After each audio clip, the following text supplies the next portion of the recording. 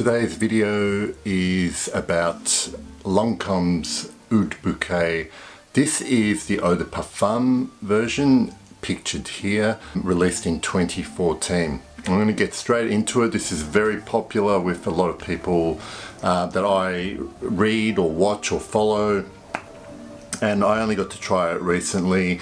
I've got a sample here. I'm just going to spray it on and just describe this, the opening in particular. Now, when I was testing this, every time I sprayed it on, uh, it really took me back to my childhood. And the reason it did that was because this reminded me, uh, this reminded me of when we used to have family gatherings or functions uh, after dinner there would be sweets and dessert and there would usually be uh, a tray of little um, you know these were Italian style liqueured chocolates a dark chocolate with a liqueur filled center. Um, and being a child I wasn't allowed to eat those chocolates and I didn't really like the smell of that liqueur um, so I wasn't particularly interested in trying them but this opening really reminds me of those chocolates and um, I have those associations with an adult uh, an adult thing. Um, so this feels like a quite a grown-up scent to me in the opening. Now the, the notes listed there's five notes officially listed for Lancome Oud Bouquet which are praline, saffron, rose, oud and vanilla.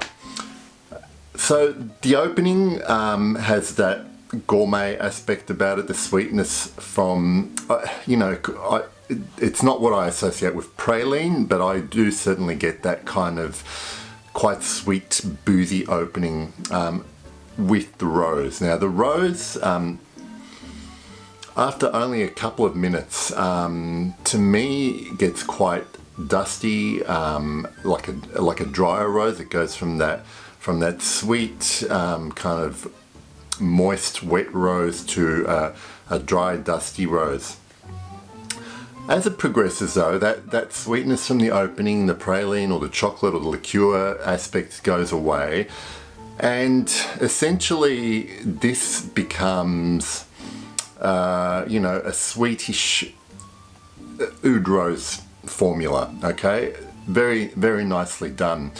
Uh, and as it further progresses into the dry down, you get um, at various times oud rose and then um, rose vanilla. The vanilla becomes a bit more dominant and through the progression of this whole fragrance on my skin, I'm reminded of other favorite fragrances that have this combination of notes or, or uh, or different combinations of the notes listed in Oud Bouquet. So at various times when some of the vanilla comes in, uh, I'm reminded of uh, Francis Kurkdjian's Oud Satin Mood, um, which to me that fragrance probably leans a bit more masculine than this one does. And then uh, into the later dry down you know, because I have worn uh, Montale's Black Oud a lot, um, I get that where it becomes more rose and oud. Now through the, through the whole wearing of this scent, the rose is a constant and at various times different things come up in waves. Like the, the, there's a wave of ouds um, not far into the into the mid notes and then the vanilla comes in and it becomes a rose oud vanilla. And then at the end it's more of a rose vanilla so in general the whole scent has has for a rose oud combo has a sweetness to it so it's it's something that I would describe as a gourmand uh, oud rose now these type of scents um, my my this is not the type of scent I would seek out to wear. Now, I really like the way this smells, but it's probably a little bit too on the sweet side for me to be a regular wearer of. And I think that I think that this does lean slightly more feminine uh, than some of the other ones that I wear. So I, I prefer something with a bit of the earthiness, you know, um, if we're talking, you know, if we're talking chocolate like, I prefer something like Noir de Noir from Tom Ford with that patchouli type um, sweet earthiness in it. And if we're talking vanilla rose, oud satin mood, and if we're just talking straight oud rose Montale black oud. Now this has elements of all those all those things, um, but it does stay sweet. You know, first with the praline in the opening, then the vanilla in the base.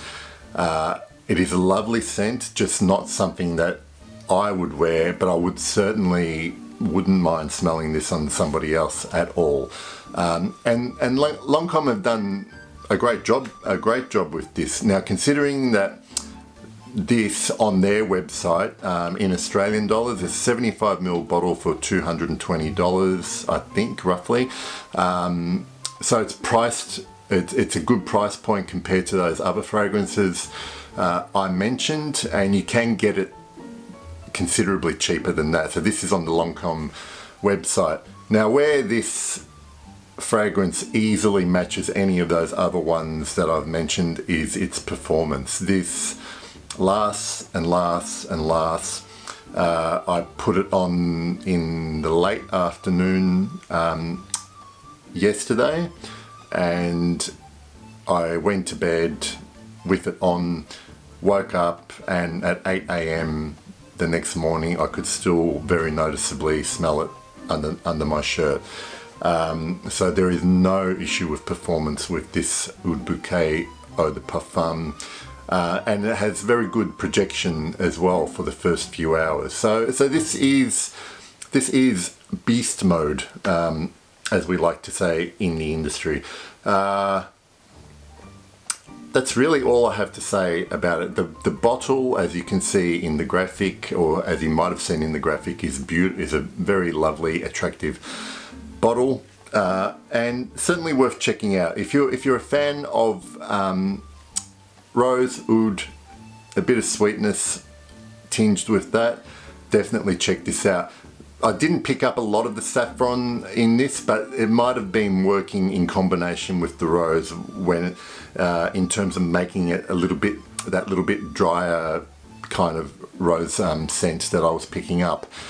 Uh, Lancome Oud Bouquet, Eau de Parfum. Uh, thank you to You Know Who You Are for this very generous sample and I will see you next time. I hope you enjoyed that review. Thank you.